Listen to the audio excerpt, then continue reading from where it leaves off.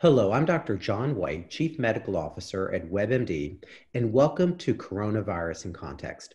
Today, we're going to talk to someone who has contracted the coronavirus, hear their story, and find out how they're doing. My guest is Dr. Sharon Amaya. Dr. Amaya, thanks for joining us today. You're so welcome. Now, first of all, how are you doing right now? I'm actually doing much, much better. Um, I'm about day 13 um, currently, so I feel like I really turned the corner about three days ago. Tell us your story. It's, it's a fascinating one.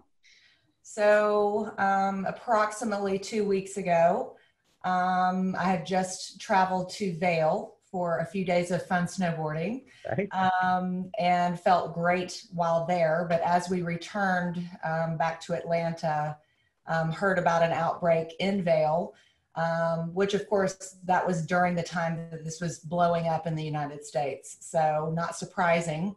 Um, but kind of niggled in the back of my mind. Uh oh, I was just in a hot spot. Um, but woke up the day after we got home with a little bit of a sore throat. Okay. And that feeling, how you know you're coming down with something. Mm-hmm. You're kind of like, ah, something's just not quite right. But I didn't feel ill at all. Um, progressed through that day just with the sore throat. Um, the next day, I did develop more of a dry cough along with okay. the sore throat. And I had actually a lot of congestion, um, some nasal congestion. Mm-hmm. Um, Did you have a fever? You know what? At that time, I did not have a fever. Um, was checking periodically. Mm-hmm. Um, nothing over 99. Okay. Uh, so technically, no fever. Mm-hmm. Um, and then, as the next couple of days progressed, I definitely started getting more of the severe body aches that you hear about. Um, a lot of just neck, back, and headache pain. Um, and then that just general malaise and not feeling well along with uh, again more of a continued dry cough. And what were you but, thinking at that time? Were you thinking coronavirus, or were you thinking flu, or just you know? I got my flu shot, just like everybody should. I got my flu shot, so I did not feel like I had the flu. Um, and again, I really I didn't have these high fevers that go along with both of those illnesses, with this COVID as well as the flu. Yeah. And um, what's happening with your husband? Because you talk about your husband and symptoms? And he actually exactly the same symptoms. Mm-hmm. Um, we pretty much mirrored each other and we traveled together and we actually have the same job. Okay. Um, so we both work in the emergency room. Mm-hmm. Um, so we were good sounding boards for each other. It was mm-hmm. kind of like, hey, could this be the coronavirus? And by two three days in i think enough symptoms um, that we felt like i think we need to know only because of work. Could we were you, were you quarantined at the time? We self quarantined okay. Um, at this point we luckily didn't have any upcoming work shifts. Okay. um, we didn't need to go anywhere. There wasn't an urgent need for toilet paper at that time. Um, so we pretty much self quarantined and knowing at the time, and this was only two weeks ago, but as you know, things have just rapidly progressed. Had I gone to the Department of Public Health or work and said, Hey, I want to get tested, there just weren't the tests to be done.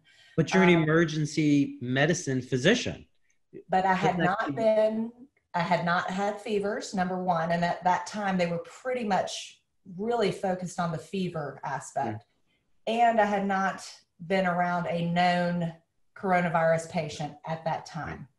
Um, so really, even with my job, I didn't qualify. I, I, know it's, it's it's when we think about it, it's a little shocking that that here you are a health provider and, and you can't get a test Correct. at that time. Correct, and and and things have hopefully progressed to where we are more able to get these testings, but at that time, um, simply because we wanted to know. I just Googled Atlanta area labs doing the coronavirus, and I found one mm-hmm. um, in Sandy Springs and actually ordered two kits um, at that time.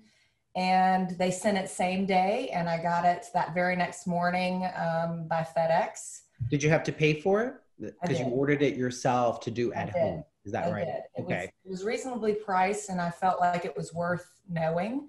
Um, again, simply for work purposes, right. not necessarily because I felt that ill. But your institution uh, wouldn't do it. Wouldn't I'm do sorry? the test that. Your institution would not do the test at, at that time. Is at that, that right? time, they really didn't have the tests okay. available. Okay. Um, we were at that time reserving them for patients who were so sick that they were being hospitalized. It impact their treatment ultimately. Exactly. Okay. Exactly. Mm-hmm. So um, we got the kit um, and we self swabbed. Um, did you self swab each other or did you, no. did you or you no. do your own? I did, my own. own. and okay. my husband did his own. Right. Um, and uh, we followed the instructions uh, included in the kit mm-hmm. and uh, sent that back same day. Um, in the mail or did you leave it outside to be collected?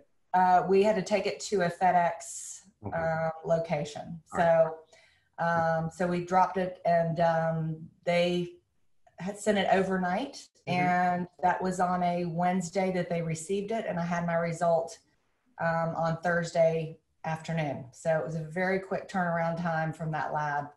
And the results the fastest were, I've seen.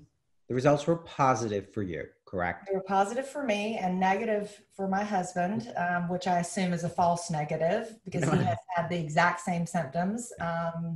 You had said you didn't follow the instructions well. that's, that's My technique was better. okay. Okay. so, um, and that is again an interesting uh, aspect of this is can you rely on the the tests entirely? And probably right. not. If it walks like a duck, talks mm-hmm. like a duck, um, it probably is COVID nineteen. And there are some issues with predictability of tests, and also getting the right sample we talked a little bit about that you know are we getting are we doing the swab correctly you're obviously more educated and experienced in it but it, it could be a challenge for others if they have right. to self swab not exactly knowing what that means and, and, and what's considered a good swab. That's why I asked right. if you had done his and he had done yours. So right. No, thankfully, no. Okay. Uh, we were responsible for our own. So. And then what were you taking for medication? Were you taking anything for fever or pain? Um, um, so really my go-to is usually ibuprofen, um, but with the some of the studies coming out of France that hey might not be the greatest idea to take during this time, stuck with Tylenol. Um, We're not sure about the ibuprofen right now and NSAIDs, but you know prudence.